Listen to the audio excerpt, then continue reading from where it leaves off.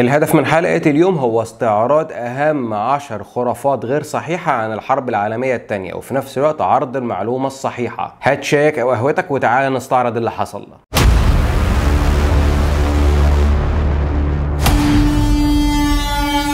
السلام عليكم ورحمة الله وبركاته. معاكم محمد حسني واهلا بيكم في حلقة جديدة من برنامج War Bus برنامج اختصار War and Business الحرب وال business بس قبل ما أبدأ الحلقة في قاعدة مهمة جدا لازم نعرفها في التاريخ إن دايما الحقيقة بتكون أبسط بكتير مما إحنا متخيلين والسيناريو الحقيقي بيكون دايما بسيط ولكن دايما بيكون في سيناريو موازي للسيناريو الحقيقي وده اللي بيحصل فيه نظرية المؤامرة. السيناريو الموازي بيفترض نظرية المؤامرة ان دايما في مؤامرة خافية وراء كل اللي بيحصل. في حين زي ما قلت إن دايما الحقيقة بتكون أبسط بكتير. وتعالوا نبدأ ونناقش أهم خرافات الحرب العالمية الثانية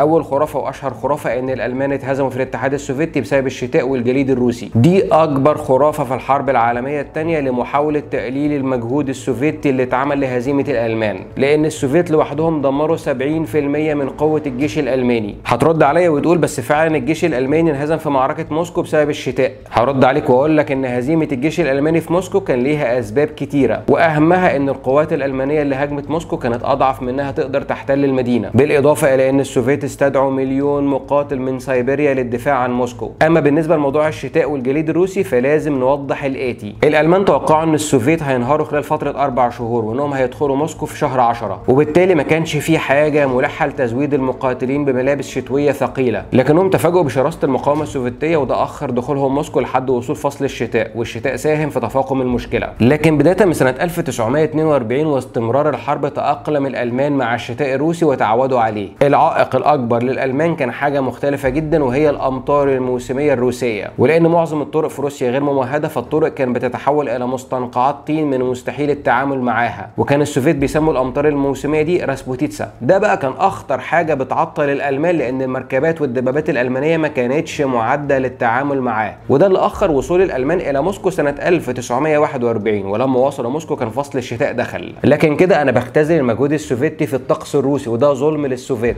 اللي هزم الألمان في الاتحاد السوفيتي هو قدرة السوفيت على تلقي الضربات والتعافي منها. والدليل على كلامي إنه باستثناء معركة موسكو ومعركة ستالينجراد فمعظم الانتصارات السوفيتية الضخمة كانت في فصل الصيف. فصل الشتاء القاسي في روسيا كان مدته شهرين فلو الشتاء هيحدد المنتصر كان الألمان عندهم 10 شهور لتصحيح الوضع. ولكن زي ما قلت قبل كده وهعيد تاني أسوأ خطأ هو غزو الاتحاد السوفيتي. بسبب قدرة روسيا على تلقي الضربات والتعافي منها والانتصار في النهاية. ولو مش مصدقني اسأل التاريخ. اللي حصل مع ألمانيا هو سيناريو متكرر عبر التاريخ لكن محدش بيتعلم.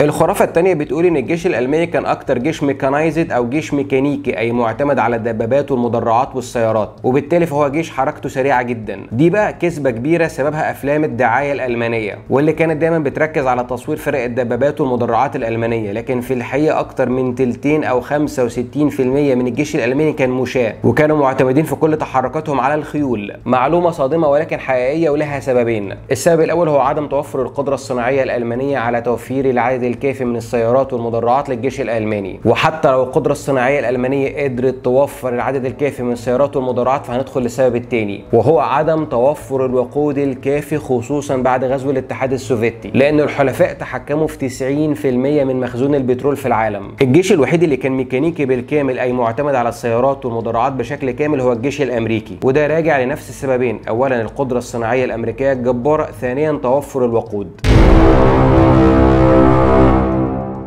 الخرافة الثالثة في الحرب العالمية الثانية بتقول إن الجيش الألماني كان الأكثر تطورا، بشكل عام أنت في حالة حرب وفي الحرب كل طرف من الأطراف بيكون متفوق في نقطة معينة، وبالتالي تفوقك في مجال أو زاوية معينة لا يعني إنك الأكثر تطورا. الألمان لما تأزم موقفهم في الحرب بدأوا في تطوير أسلحة مستقبلية مفروض تكون متوفرة بعد 10 سنين. المشكلة بقى إنهم لم يمتلكوا القدرة الصناعية الكافية على إنتاجها بأعداد كافية علشان تقدر تشكل فارق في الحرب، وأنت في حالة حرب ومحتاج سلاح متوفر حالا حالا على النقيض الألمان ما كانش لهم الأفضلية في الأسلحة التقليدية اللي أنت محتاجها علشان تكمل الحرب. لا الأفضلية النوعية ولا الأفضلية العددية. الألمان فشلوا في الناحيتين. بالنسبة للأسلحة الخفيفة فالألمان تفوقوا بالرشاش MG 42 لكن السوفيت تفوقوا في باقي الأسلحة الخفيفة خصوصا في فئة ال submachine gun وده كان أهم سلاح على الجبهة الشرقية. المدفعية السوفيتية كانت أفضل ومداها أكبر والألمان كانوا بيفضلوا استخدام المدفعية السوفيتية على مدفعيتهم الألمانية في حالة أسر أي سلاح سوفيتي. بالنسبة للطيران فالطيران الأمريكي والسوفيتي تفوق تفوق ملحوظ على الطيران الألماني. المقاتلة الألمانية الوحيدة اللي كانت ند للحلفاء سنة 1943 كانت الفوك وولف 190 أما بالنسبة للدبابات فحدث ولا حرج.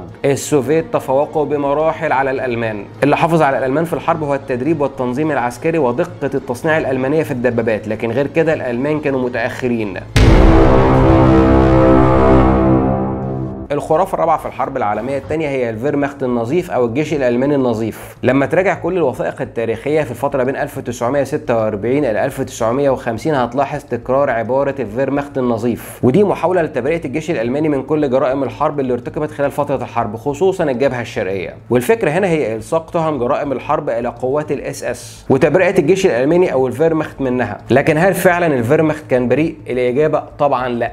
كل جرائم الحرب اللي ارتكبتها ال SS كانت بمعرفة وتنسيق الجيش الألماني وإذا لم يشارك الجيش الألماني في الجرائم فعلى الأقل كان على دراية باللي بيحصل. وما حاولش يمنع الجرائم دي وبالتالي كان مشارك في كل الجرائم اللي حصلت. ضيف على كده إن على كل مستويات الجيش الألماني ما كانش فيه أي معارضه ابدا لجرائم الإبادة ضد كل الجنسيات التانية. إبادة كل الأقليات وعلى رأسهم اليهود طبعا وبالإضافة إلى ال Slavs والبولنديين والأوكرانيين. ما كانش عندهم أي مشكلة في جرائم الإبادة لأنهم عارفين إن جرائم الإبادة هدفها هو فتح مناطق توسع للمستعمرين الالمان علشان يتوسعوا في شرق أوروبا. طيب ليه تم تبرئة الجيش الألماني من كل جرائم الحرب اللي حصلت؟ والإجابة هي الاتحاد السوفيتي. بعد سقوط ألمانيا أصبح واضح جدا إن العدو القادم هو الاتحاد السوفيتي. وكان في مشكلة خطيرة جدا بيعاني منها الحلفاء في أوروبا وهي إن إجمالي قوات الحلفاء متضمن الأمريكيين كان حوالي 2 مليون في حين إن القوات السوفيتية كان عددها 5 مليون. بالإضافة إلى تفوق سوفيتي كبير جدا في المعدات العسكرية ما عدا القاذفات الاستراتيجية. يعني السوفيت لو حبوا يكتسحوا أوروبا كان هيوصلوا إلى القناة الإنجليزية. وبالتالي كان لازم الاستعانة بالجيش الألماني في حالة اندلاع حرب. بس إزاي استعين بجيش أنا لسه مدمره بسبب جرائم الحرب دي؟ والحل هو إلصاق التهمه بأدولف هتلر والقيادات النازية البارزة وتبرئة باقي الجيش الألماني من التهم دي. وتحميل قوات ال SS كامل المسؤولية عن جرائم الحرب والإبادة. وده اللي حصل فعلا بغرض استخدام الجيش الألماني في الحرب في حالة اندلاع الحرب ضد السوفيت. طب هل الفيرمخت أو الجيش الألماني كان نظيف؟ طبعا لا. طب هل الشعب الألماني نفسه كان نظيف؟ طبعا لا. لأن الشعب الألماني نفسه كان متشبع بفكرة مساحة العيش في أوروبا الشرقية. وعلشان تتوسع على أرض غيرك مفيش غير حل واحد بس هو الإبادة الجماعية. يعني الشعب الألماني كان عارف وما كانش عنده أي مشكلة في اللي بيحصل. الخرافة الخامسة في الحرب العالمية الثانية إن كان في تحالف بين دول المحور. دايما في انطباع خاطئ إن الحرب العالمية الثانية كانت بين دول التحالف ودول المحور، لكن الحقيقة إن الحرب العالمية الثانية كانت بين دول الحلفاء مجتمعة ضد دول المحور كل دولة لوحدها. يعني أمريكا وبريطانيا والسوفيت ضد ألمانيا في أوروبا، وأمريكا وبريطانيا وأستراليا وهولندا ضد اليابان في آسيا، وألمانيا واليابان كل دولة لوحدها، وألمانيا معاها حليف في أوروبا اسمه إيطاليا اللي هو أصلا عقبة في طريق ألمانيا وليس الحلفاء. يعني مفيش فوضى أكتر من كده. لأن تحالف دول المحور ما كانش تحالف بالمعنى الحقيقي وإنما تقدر تقول ميول سياسي. كل دولة لها اهتماماتها الخاصة بيها ألمانيا في أوروبا واليابان في آسيا وإيطاليا في شمال أفريقيا. ومفيش أي دولة كان عندها استعداد للتعاون مع الدولة الثانية وأقصى درجات التعاون كان تبادل المعلومات. أوضح دليل إن اليابان ما حاولتش تهاجم القوات السوفيتية في منشوريا علشان تساعد ألمانيا في معركة موسكو. ولو عملت كده كان ممكن تنهي الاتحاد السوفيتي فعلا. السوفيت عرفوا المعلومة ونقلوا مليون مقاتل من سيبيريا للدفاع عن موسكو ومن هنا كانت نهاية ألمانيا في الجبهة الشرقية. ولو أنت مستغرب من انعدام التنسيق بين دول المحور فاسمع الآتي. هتلر ما كانش مهتم بمعرفة مخططات موسوليني في شمال أفريقيا على الرغم إنهم حلفاء. وهتلر ما كانش عنده أي علم بتخطيط اليابان لمهاجمة بيرل هاربر. يعني مستوى من الفوضى غير طبيعي. على النقيض كل مخططات دول الحلفاء كانت مشتركة. سياسة ألمانيا اولا كان متفق عليها. تأجيل الهجوم على اليابان لحين التأكد من تراجع ألمانيا كان متفق عليه. تنسيق التسليح بين بريطانيا وأمريكا. والتنسيق العامل بين دول الحلفاء في الحرب. يعني زي ما قلت دول المحور ما كانش بينها أي تحالف واضح. الخرافة السادسة والأشهر في آسيا وهي إن بريطانيا هي من دفعت اليابان لمهاجمة أمريكا. في خرافة بتقول إن بريطانيا قدرت تفك شفرات البحرية اليابانية وتوصل لهم إشارات كاذبة إن أمريكا بتخطط لمهاجمة اليابان وبالتالي اليابان بدأت بضربه استباقية ضد ميناء بيرل هاربر. الكلام ده خرافي ولا أساس له من الصحة. والدليل إن بريطانيا كانت نفعت نفسها وقدرت تحمي مستعمراتها من الغزو الياباني والكوارث اللي حصلت في معارك مالايا وسنغافورة. الحقيقة كانت أبسط بكتير من نظرية المؤامرة وهي إن أكبر مورد بترول لليابان هو أمريكا وأكبر مستهلك للبترول في اليابان هو البحرية اليابانية. ولما اليابان وقعت الاتفاق الثلاثي مع ألمانيا وإيطاليا كان رد الفعل الأمريكي هو العقوبات الاقتصادية وقطع البترول عن اليابان. الحل البديل لليابان هو البترول الموجود في المستعمرات البريطانية والهولندية في شرق آسيا ولكن في منتصف الطريق موجود الفلبين اللي هي تحت السيطرة الأمريكية. اذا لابد من تحييد الفلبين اولا وبالتالي الحل الوحيد هو قطع أي إمداد عسكري عن الفلبين. وعلشان تعمل كده فكان لازم تدمر الاسطول الأمريكي اللي موجود في ميناء بيرل هاربر افتكروا دايما إن الحقيقة أبسط بكتير من نظرية المؤامرة الخرافة السابعة هي غزو بريطانيا أو العملية Sea Lion أو أسد البحر. في كلام كتير بيتردد إن الألمان في حالة نجاحهم في معركة بريطانيا الجوية وضمانهم السيطرة الجوية كان ممكن يقدروا يغزوا بريطانيا، والعملية دي كانت معروفة باسم Sea Lion أو أسد البحر ولكن هذه خرافة، لأن العملية Sea Lion كانت مجرد مخطط مبدئي ضعيف يفتقد إلى الدقة التخطيطية والتفاصيل المهمة وأهمل عوامل كتيرة جدا، حاجة مشابهة كده للعملية بربروسا في الاتحاد السوفيتي، يعني حتى لو قدرت ألمانيا إنها تتخلص من الطيران البريطاني فكانت ألمانيا تفتقر إلى الدعم البحري المطلوب لتنفيذ عملية بالحجم ده. وحتى لو نجحت العملية فما كانش عندها القدرة على تقديم الدعم للقوات اللي هتبقى موجودة في بريطانيا. يعني الموضوع من البداية مجرد مخطط مبدئي ضعيف. الخرافة التامنة في الحرب العالمية الثانية بتقول إنه لا وجود للهولوكوست. نقولها بطريقة تانية إن هو ما حصلش أي إبادة جماعية لكل الأقليات وعلى رأسهم اليهود وما تمش استخدام غرف الغاز وإن كل اللي حصل هو مجرد ادعاءات بغرض ابتزاز ألمانيا. لكن الحقيقة مختلفة تماما عن الخرافة دي. الفكرة إن الهولوكوست حصلت فعلا ومعسكرات الاعتقال هي أكبر دليل على كده. لكن كان في الأسوأ من الهولوكوست. الهولوكوست كانت حركة موجهة ضد اليهود واللي هم في خيال هتلر عدو ألمانيا الأول. لكن الألمان كان عندهم كره أكبر لشعوب أوروبا الشرقية البولنديين والأوكرانيين والسلافز عامة. ده بالإضافة إلى كل الأقليات التي لا تتميز بالمواصفات الشكلية الألمانية. ملايين من أوروبا الشرقية راحوا ضحية الحرب ومعسكرات الاعتقال والإبادة الجماعية. وده بغرض توفير مساحة العيش في أوروبا الشرقية علشان المستعمرين الالمان يتوسعوا فيها. طب ليه التركيز على اليهود؟ لأن اليهود كانوا حجر أساس السياسة العنصرية الألمانية. الخرافة التاسعة في الحرب العالمية الثانية بتقول إن اليابان سحقت الأسطول الأمريكي في بيرل هاربر، في حين إن الحقيقة مختلفة تماما. حاملات الطائرات الأمريكية الثلاثة اللي هم الهدف الرئيسي للهجوم ما كانوش موجودين في الميناء، وبالتالي الهدف الرئيسي من الهجوم فشل. مستودعات الوقود الخاصة بالأسطول الأمريكي لم يتم تدميرها، ودي في حد ذاتها كانت كافية إنها تعطل المجهود الحربي الأمريكي مدة ست شهور. السفن الأمريكية اللي تم إغراقها غرقت في المياه الضحلة للميناء، وبالتالي تم رفع السفن وإصلاحها ورجعت للخدمة مرة ثانية ما عدا السفينة USS أريزونا. الأسوأ إن أحواض إصلاح السفن فضلت سليمة وبالتالي تم إصلاح السفن الأمريكية بدون أي عوائق.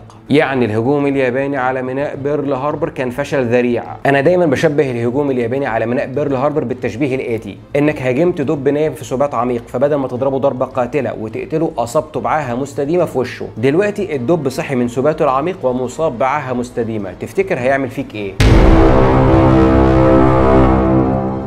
الخرافة العشرة وحسن الختام عن الحرب العالمية الثانية والخرافة بتقول إن حال الدول العربية كان هيكون أفضل بكتير في حالة نصر دول المحور. يعني لو كانت ألمانيا وإيطاليا انتصرت كان حال مصر والدول العربية اللي كانت واقعة تحت الاستعمار البريطاني كان هيكون أفضل. أيها السيدات والسادة هذه خرافة لأنك بتستبدل شيطان بشيطان أسوأ.